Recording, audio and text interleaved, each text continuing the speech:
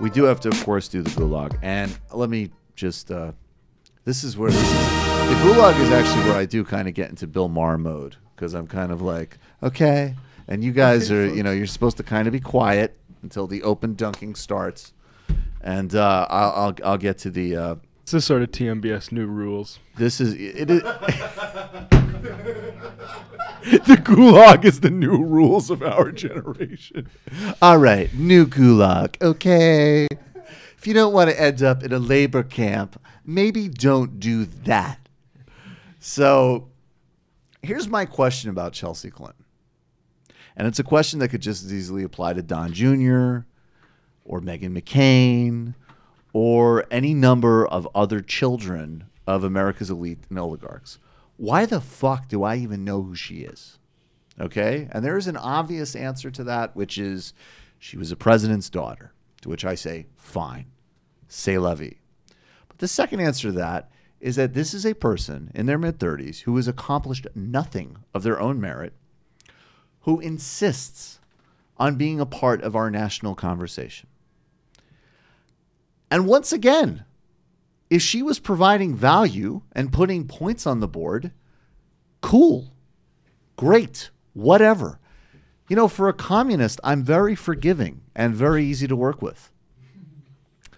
But what I cannot abide, and this, and I'm not going to play the clip because I'm, I'm I'll piss everybody off. I think, look, she went to a gathering of people to commemorate the victims of the terrorist attack in New Zealand. Should she have been there? Let me piss off the Clinton White Knights. No, she didn't need to be there. She didn't need to be there in a public way. Did the woman who confronted her uh, maybe do it in a way that wasn't uh, perfect? Yes. She's also a fucking college student. And the reaction to her, the reaction to the reaction is the most disturbing thing. Hillary Clinton getting yelled at a little bit by a college student, uh, Chelsea Clinton getting yelled at a little bit by a college student is okay. She'll live. Everybody will be fine. And what really sticks for me about this is in this discourse of whether or not it was appropriate, whether or not it was this, whether or not it was that, is the fact that whatever else you think about that interaction, it, it, it obscured the relentless hypocrisy of a Democratic establishment that we echoed in the opening commentary. There's one group of people in politics, and I look, I don't draw an equivalency. It actually matters. It matters when Barack Obama went on television and he said, you know, it's a religion of peace and treat people with respect. But he was also the same person who was waging a global drone war that killed literally an untold amount of civilians because it wasn't reported as a policy design. This is a class of politicians that certainly in New York City and Mike Bloomberg's technocracy, the technocracy spied on Muslims. And this is a place where, actually, speaking of Bill Maher, okay, it's totally fine to speak about Muslim people in a way that is so dehumanizing and essentializing that it would, you could not get it by on other areas, and nor should you. Not even to mention the just ingrained racism and acceptance of perpetual occupation of Palestine. None of the things that Chelsea Clinton has ever spoken about. So that is the context. And if you want to say that the expression of the protest wasn't perfect, you got to give me the first 99.99999% of that statement. And then you could say, she could have been better on camera, I guess. And then I'll respond to you, sure, I guess. She's 19 years old. Why the fuck are we even talking about her? This is Kathy Griffin. You think this is bullying? Ha ha ha ha ha. I can I speak from experience. I can't imagine you fucking pussy. You can't imagine you fucking pussy. Wake up. We're all on this planet together. Chelsea Clinton does not deserve this misdirected anger. That's a prominent celebrity attacking a college student 2.14 million followers. Two point four one million, confronting a college student for criticizing a child celebrity of politicians who inserted herself in a major news story. And let's and it also brought me back to this. And I and it's funny because I was on a Patreon call this weekend with comrade and above patrons. You can do those calls with me. And someone asked me about this, and I actually said, you know, I'm not going to talk about this because honestly, like, I'm not invest, invested in Twitter drama. I'm not really even invested in hating Chelsea. I don't hate Chelsea Clinton. That's not the point. And I, you know, whatever. We got bigger fish to fry. But then I was reminded of this that back a couple of weeks ago, when the political hit campaign against Ilhan Omar was starting, and this horrific, disingenuous nonsense from Batya Ungar-Sargon at the forward started. Sorry? What did you say? I said avocado, but I was just Avocado, right? Yeah, no, you, the joke needed to be made.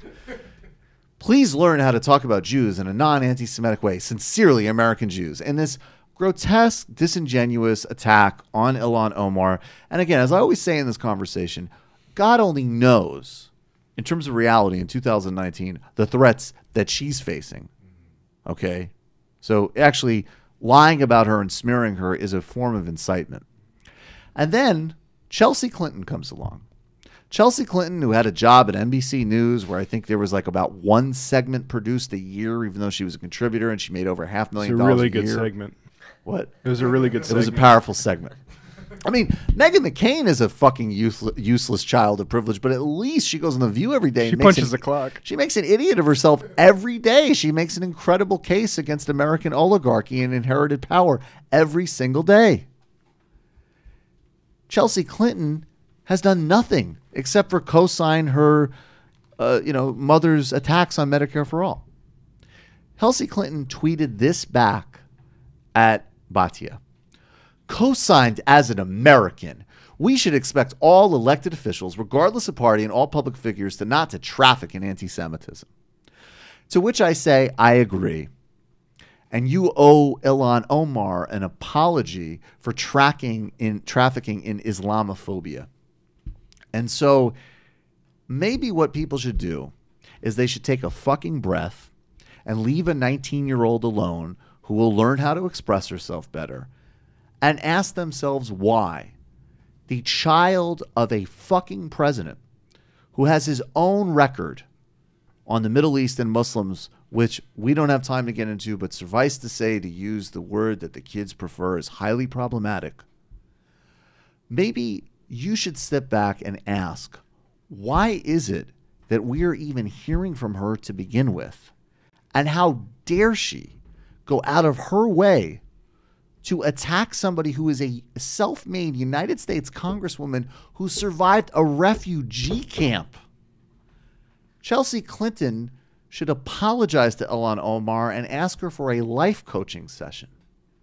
And that's the gulag. Okay. Can I just observe right, something I don't think anybody's observed yet? What is if it? you look at the tweet that Chelsea sent here, it's replying to Bunger, Sargon, and Reagan Battalion, which means that this came across her feed through Reagan Battalion, which Reagan Battalion, if people don't know, is a really lame ass, like kind of never Trumper thing. Wow. But they, uh, they, I, I'm looking for it. They tweeted something out that they had to delete because it was like sort of, can't remember if it was like Co-signed as an American. What do you? Ilhan Omar Oh, yeah. is an, is a fucking American.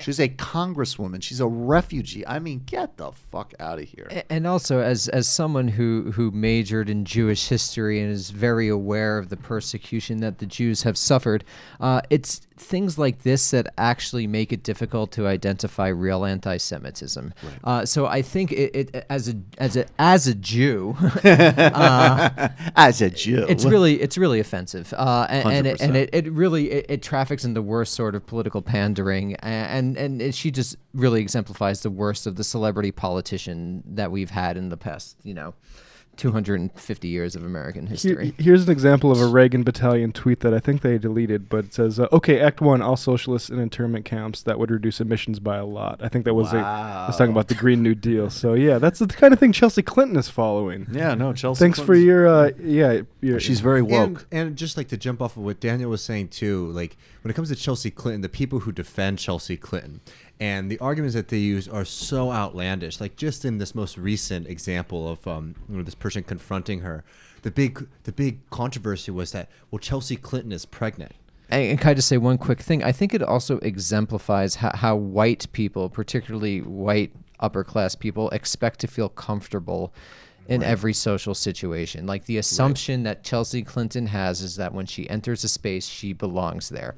And I think what what has and I really think what is behind this is that a bunch of people looking at this don't appreciate that maybe they are not welcome in every social space at literally every moment. So, for example, no, hundred percent. and I think that's what it is. So someone, I think, I think she, Chelsea Clinton did truck in Islamophobia, and it's understandable that a, a young Muslim woman, I th- a woman, I think she was a Palestinian woman, in fact, doesn't necessarily want her at a uh, at a moment, uh, at a at a, s- a morning, a, a space of mourning at a 100%. particular moment, and so I think it just shows a profound lack of empathy, a total lack of empathy, and a total narcissism on behalf of Chelsea Clinton, and even more importantly, her defenders. Hundred percent. You've just watched a Michael Brooks show video, and you can watch all of our full main live shows every Tuesday night at around 7 p.m. Eastern Time.